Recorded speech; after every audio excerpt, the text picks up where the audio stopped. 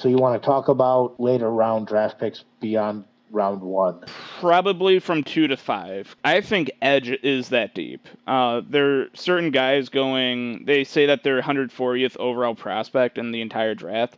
Uh, Isaiah McGuire, yo, I think he's way better than 140. I think he should be at like 60 or 70 or 80, just because he's totally aware of where he is on the field at all times. He's tracking the ball extremely well. There's some of these other prospects that they rate above him. They are not following the ball throughout the whole snap. It's like they're overwhelmed with their assignment and they don't follow where the ball is going. McGuire knows where the ball's at at all times. He's physically overpowering to the offensive lineman across from him.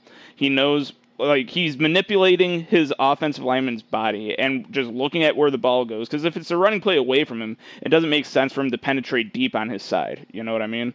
And most Right, of the right, time, right. he produced, and they're running away from him. Most like every team that was playing against him. All right. If he's able to produce under those conditions, I'm excited for Isaiah McGuire, and I hope the Bears pick him up. Yeah, physical wise, like you can adjust your physical body in the NFL. When it comes down to always in the NFL, when it comes to being a great player, is the mental aspect of the game.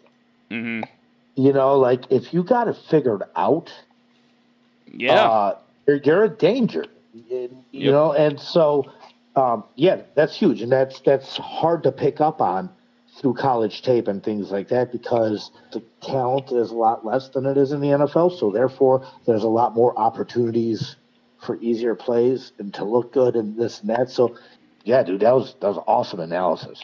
Thank you. Okay, who else you got? All right. Derick Hall, defensive end out of Auburn. I think another person who, on tape, he looks short, but he's listed as six foot three. Uh, also, totally aware of where he is on the field at all times. Um, I I'm not going to go so far as to say he's a better prospect than say Will Anderson, but even Will Anderson sometimes overexplodes, over pursues a little bit on the on the ball carrier where the ball's at.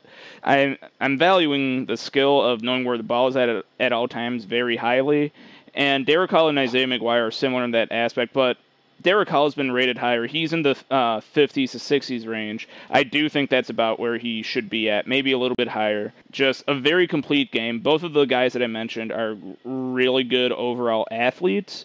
Um, Derick Hall doesn't have the length that Isaiah McGuire has. The, the buzzword for the Bears uh, this offseason is length. They've been talking about how the coaches and Ryan Poles are talking about length in their trench positions. Um, you know, offensive tackle, defensive end, or whatever, that they value length. Isaiah McGuire has the length.